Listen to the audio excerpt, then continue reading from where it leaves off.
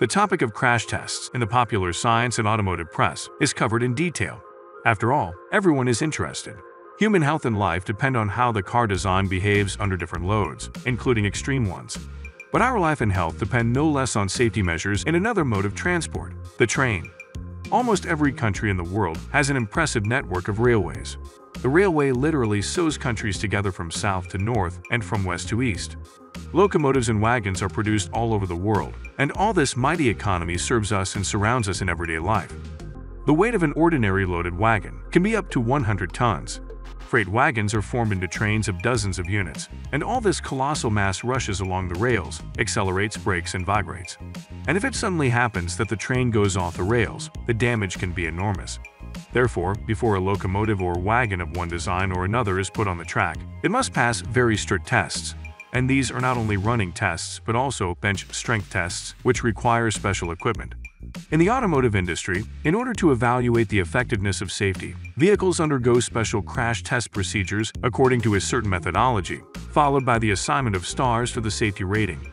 But what is the situation with rail transport in this regard? Most of us who actively use rail transport have no idea how hard the design of the car is subjected to before it is recognized as safe. Like any modern production, the railway sector is the realm of electronics and automation. All loads that railroad machinery undergoes during tests are created by actuators in accordance with a computer program. The data obtained with the help of sensors is also processed by computer technology. The building of the Center for Testing Railway Equipment looks like an ordinary production building. Inside there is a small office block and a workshop space, which house a real torture chamber for railway equipment and its individual parts. The testing center was created for various tests of rolling stock and its components.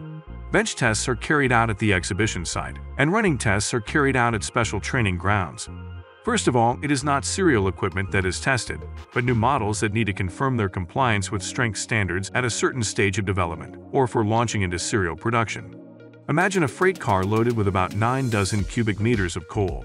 Outwardly, it looks durable, of course, but believe me, there is something to break. The reliability of car designs is influenced by numerous factors, including challenging climatic conditions experienced in different countries. Wide temperature fluctuations, ranging from minus 55 to plus 50 degrees Celsius, with daily jumps of up to 20 degrees Celsius, can render metal brittle and susceptible to damage. Additionally, the loading and unloading conditions and the quality of service also play a significant role in determining the service life of the cars. For instance, gondola cars that are unloaded using grab cranes often sustain more damage, resulting in a shorter service life compared to similar cars unloaded by wagon dumpers. According to existing standards, the expected lifespan of older style cars is 22 years, while modern new generation cars can reach up to 32 years. Unfortunately, as part of the rolling stock maintenance, there is no foolproof method to identify all defects that a car might encounter during its journey.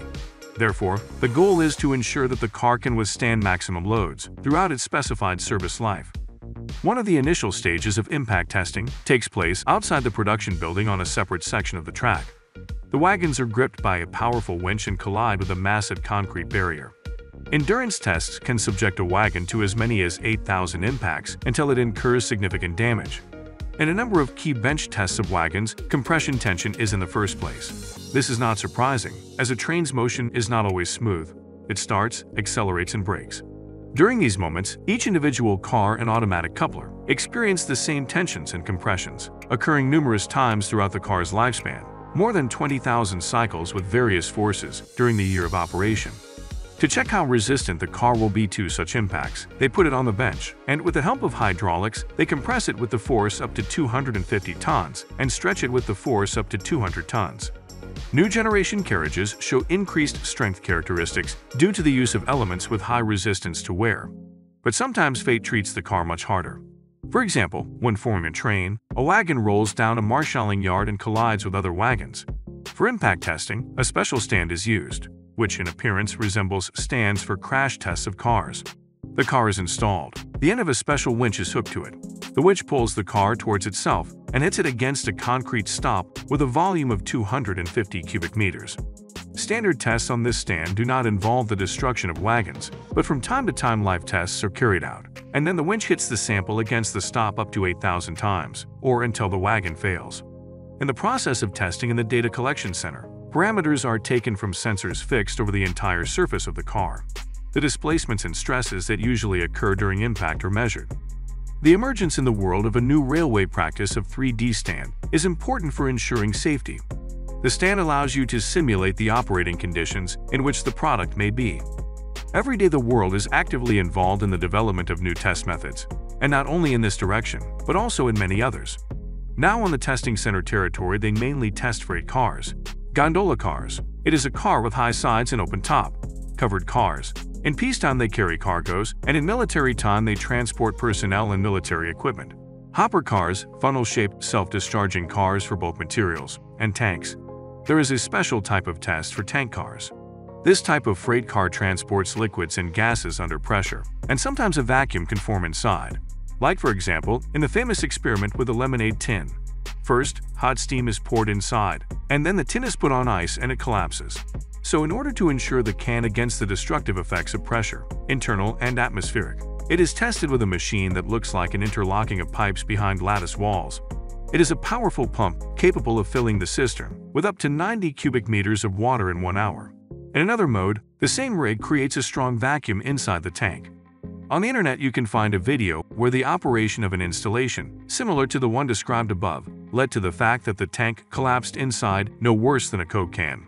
For example, when testing for impact with a liquid-filled tank, a video camera is installed inside.